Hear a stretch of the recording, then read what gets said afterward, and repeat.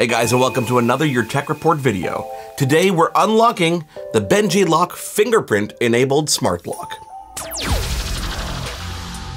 Thanks for being here guys. If you're not already subscribed to our channel, please go ahead and hit that subscribe button down below.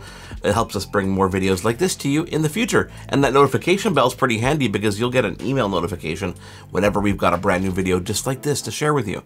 Finally, on SiriusXM, tune into your tech report every single week or tune into the podcast on your schedule on the podcast app of your choice. Let's talk about Benjilock by Hampton. Now, Benjilock is a company that I was introduced to at CES this year, and they have created a whole series of smart locks that have a fingerprint panel on the front. What does this mean? Well, let's go back to the story for a second. Founder Robbie got laid off from a really good job, and he was kind of down in the dumps, so he started to work out and get in better shape. As he was going to the gym, he looked around, he saw people putting stuff in lockers and trying to find places to either put their key or hide their key, and that was his light bulb moment that made him realize, wait a second, there's a better way to do this. Enter the Benjilock back in 2017. Now, clearly this has gone through many iterations, but this will, this little bad boy right here is just a simple padlock. You've got a fingerprint scanner on the front, you've got an LED indicator on the top, and you've got a little charging port in the bottom for a micro USB charger. I'm to go down to this camera here so you can get a closer look.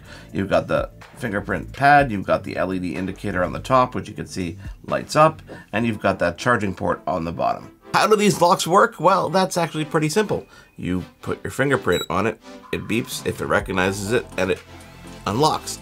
Now, lots of people are asking, okay, is this reliable? Will the battery die? Well, battery is meant to last up to six months on a single charge six months. As I said, there's a couple variations of this lock. There's a TSA version that has a number pad on the side. You've got a, a, version with a key in it. I've got the bicycle lock version over here, which we're going to talk about in a second. This is, you know, looks like your traditional U-shaped bike lock, but underneath the panel on the side, fingerprint reader, LED, and a USB-C charging port.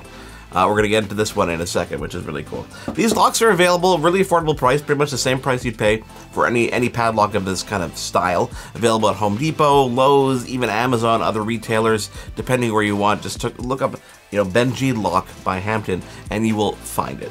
So let's talk about programming. Now, a lot of people are wondering, okay, how do you actually, can only one person use it? No, well actually, it can store up to 10 fingerprints. And programming is actually quite simple. You have a master fingerprint. That's the first fingerprint that you register on the device. We're going to go down to this camera. When you hold that finger on the device for five seconds, it enters what they call pairing mode. Once pairing mode is in there, or scanning mode, as they call it, um, you simply put your finger down.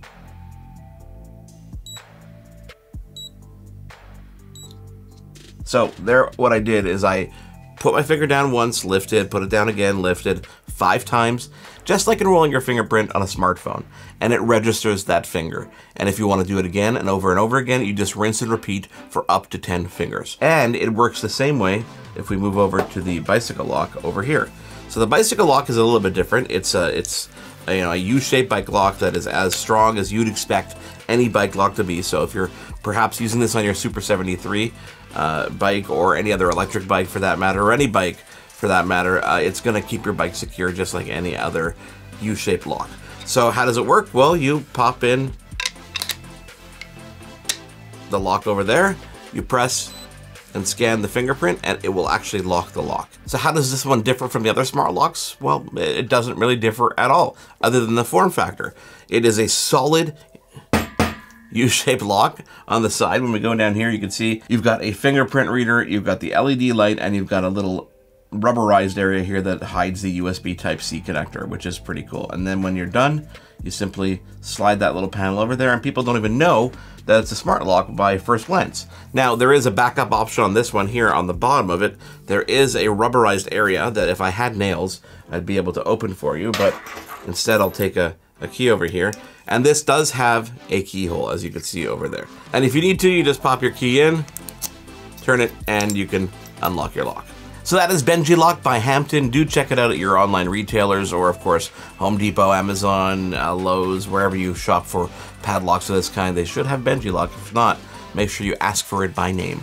Benjilock by Hampton, a very cool device. Thank you guys for watching this video. If you've got any comments, let us know down below. Of course, don't forget to subscribe if you're not already subscribed, and give us a thumbs up if you like this video. If you don't like it, just don't do anything. Just go away. Thank you for watching. We will catch you on the next video.